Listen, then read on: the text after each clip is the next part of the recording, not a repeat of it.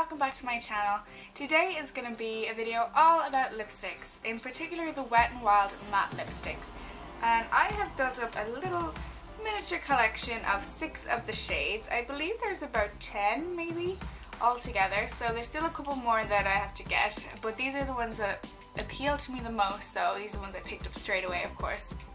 So I'm just going to talk about the pros and cons of these lipsticks and try and do a thorough review. It's my first review of a product on my channel so I'm going to try and do it properly and if you stay tuned till the end I will do a little video reel of swatches of these on the lips because I find that's much more helpful than swatching it on your hand.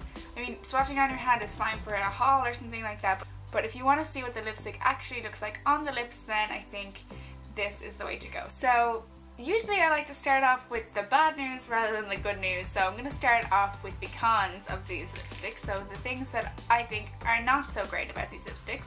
And number one would be the packaging. Only then when I get them home and I've used them a few times, this kind of thing begins to happen.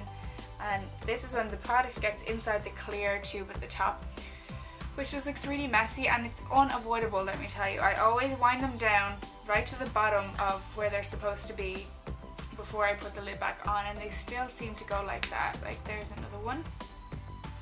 So that really bothers me about these lipsticks. Apart from that, I do like the, you know when a lipstick has this style of, what's the word? Just the way it looks. I don't know how to explain it. Rather than a more rounded top, I like the shape in a lipstick. Like those MAC retro matte ones, is that what they're called? But I like that. I do like that part about them. Mm-hmm. Overall, I do not like the packaging. Another thing I don't like about the packaging is the fact that the barcode is right there and then details about the ingredients or whatever the website and stuff is right there. I just think that looks kind of cheap and tacky. If these were all black and the lid was black as well, I would really like that. Maybe the top could be clear because I do like how you can see what colour they are before you even need to look on the bottom. But yeah, overall not a big fan of the packaging. Okay, so that is literally it for the bad things I have to say about these lipsticks and let's get on to the things that I do like about them because that's always the part I'm most interested in. So firstly, I must talk about the formula of these lipsticks. I think the formula of these lipsticks is amazing. First of all, it's nice to find such a cheap matte lipstick. It's hard to find these in the drugstore full stop and let alone a brand that is really inexpensive and then the formula turns out to be fantastic, it's just a total and complete bonus. So the formulation, these go on really creamy on my lips anyway. I try to keep my lips quite moisturised and I always put on a lip balm a few minutes before applying this. Sometimes then I even blot the lip balm off so that I can really get the true matte effect. But these go on really creamy, they do not dry out my lips at all, which is very unusual for a matte lipstick so I'm really impressed with that. The second really great thing about these is the staying power. I find that these last all day on my lips, like especially the bright ones which is unusual. Like for instance, one of my favourites is Coraline. I use this in my Get Ready With Me video which I will link down below if you want to watch just so you can see this baby in action.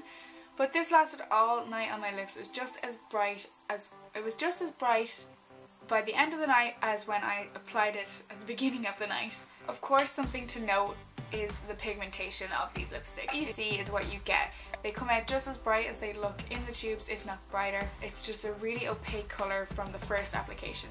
Of course, one of the best features about these lipsticks is the price. It's unbelievably cheap to get your hands on one of these lipsticks. In Ireland at the moment these are $2.99 which is insane. Like you won't find any other lipsticks for that price for this good quality in the drugstore at the moment. At least I haven't found any yet. And then lastly, one of the great things about these lipsticks also is the shade range. They have so many shades. Range from really, really nude, like there's a total skin color nude color, skin color nude color that was there but I didn't get that because it's not really my type of lipstick. I would never really wear that but they then they have pinks, more plummy colors, more brownie nudes, corals, reds, different, I think they even have two different kinds of reds with different undertones. I think that's incredible.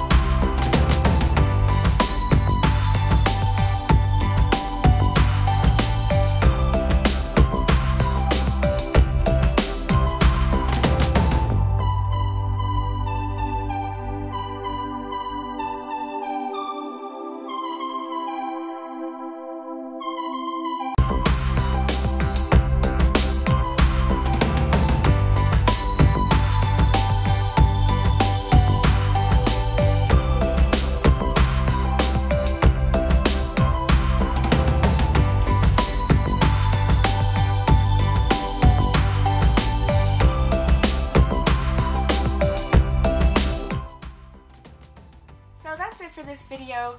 Thank you so much for watching. Please like it if you enjoyed it and let me know in the comments below if you've tried out these lipsticks and if you did, what's your favourite shade because I just want to get them all now and I'm sure there's one or two that I've missed that I haven't seen yet and that aren't available in my chemist or whatever. So yeah, comment below and we can interact and leave any video suggestions down below because I want to know what you guys want to see from me. So that's all for today. I'll see you soon for my next one. Bye!